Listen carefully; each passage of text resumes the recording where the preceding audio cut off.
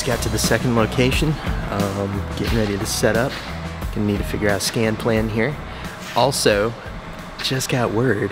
Somebody is here. Somebody's here with a Faro unit. How many times have you used your Faro? Oh, I do that pretty much every week. Yeah. Every week? Yeah. Okay. This is our second day. Oh. We're going to get the opportunity now to review this thing as people that have one day of experience and are you know, getting into it. So, Okay. not one day of research, but one day of hands-on. Uh-huh. You're going to the tunnel? Not to the tunnel, but Yeah, I there's there's a small staircase uh, that goes down for that goes to the tunnel. And on this episode of Ghost Hunters. so you said there was a tunnel that led all the way To the river. all the way to the river. Holy cow. Oh jeez, this really is a tunnel. Holy Yeah. crap. this is gonna get interesting. All right, this is as far as anybody's been so far. So is that is that the tunnel in question down there? I think if you go down that yard, so. Yeah, I don't. Wow. There's a lot of sites, you could even take both of the information, especially when it's like geotag. That's killer. Anything that you can. So all right, so it actually there's light out through here. Yeah, I think it goes to that backyard. There's a snake. Snake skins. It's a shed. Flip no, man. It's a shed. Like Indiana Jones, I don't do snakes. It had to be snakes. All the conflict. Yeah. For there. But, uh, mm,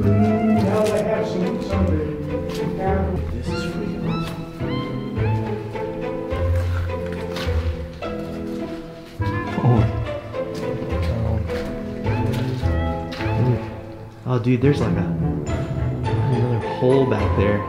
Like that thing goes pretty far back. This is probably one of the creepier places I've ever been. Just It's up there. FYI. All right, enough goofing around. We actually have to scan something now, I think.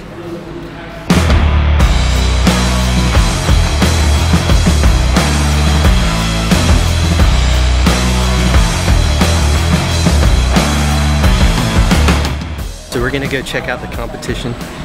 I mean, the Faro. So the way this this sets up, so on the X7 when we set it up, you can tweak it a little bit, but it's got the low, standard, and high resolution. I know for the X330 this looks the same. You're setting up indoor, outdoor, what your range is. You can also set up point density. This is all pre-job stuff that you're going to set up. Go through and set all these different things. Next, when he moves indoors, he'll set up the. He'll come back in the same menu, hit indoor. It's it, it has to do with the amount of points that it takes. I think the way the camera's set up when it takes its pictures. With the Faro, the, the pre-job setup takes a little bit longer. For the Trimble, you create job, name it, done. What's your typical runtime? I took, uh, seven, um, normally I use a seven, but now I use a five minutes, just a little lower. We don't need super high for this. Yeah. Quite small build. I, I'm still not seeing a downside in the comparison. Which which is better? In, in- I think end result in your scan data is where that determination will be made. Yeah, And Yeah, the scan used- data is everything. Seen, it's interesting. It's very very. It's very, very interesting. This is really a good test because we're taking a complete buffoon and putting him up against a smart person. Will the buffoon prevail? Who knows? If he does, it's because he's got a better toy. Yeah, that's generally the only reason why. Not yeah. because of smarts.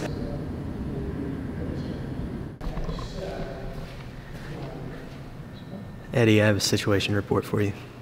He just started scan number three, so Okay. just letting you know.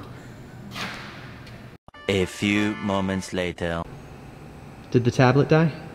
Uh, what happened? Eddie did not plug the tablet in last night. I plugged the head unit batteries in last night, but not the tablet. I was very diligent about the one battery that we had for the head unit, even though we've got two spares, three total. But not tablet, which, you know, I mean, gotta have both. So in summary, you're a moron. But Thanks. you know, Thanks for that. Yeah. you're welcome. yeah. Just keeping you humble. No, thanks for, thanks for pointing that out. You're welcome. I appreciate you. So far, the worst thing that has happened with the X7 has been the battery running out on the tablet. We are trying to find out if that's hot swappable. Um, I think there might be one in the bag. We'll see. Uh, Eddie forgot to charge it last night. Forgot to charge the tablet. He charged the batteries for the scanner itself, uh, but didn't charge the battery for the tablet. So we will see what that takes to get it up and running again. If it's not hot swappable, that's kind of a problem because, I mean, if we run out of juice, we can't keep scanning. So we will see. And so walk me through what you're dealing with real quick. So we're trying to get scan seven and eight, which I believe is Seven is right there. Seven's over there. Eight is behind. Eight's okay. okay.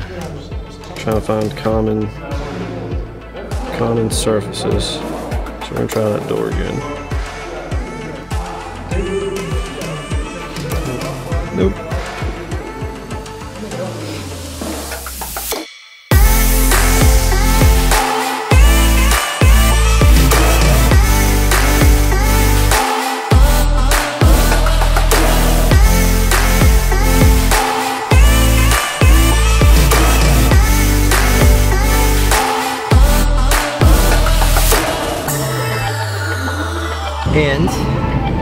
That is a wrap.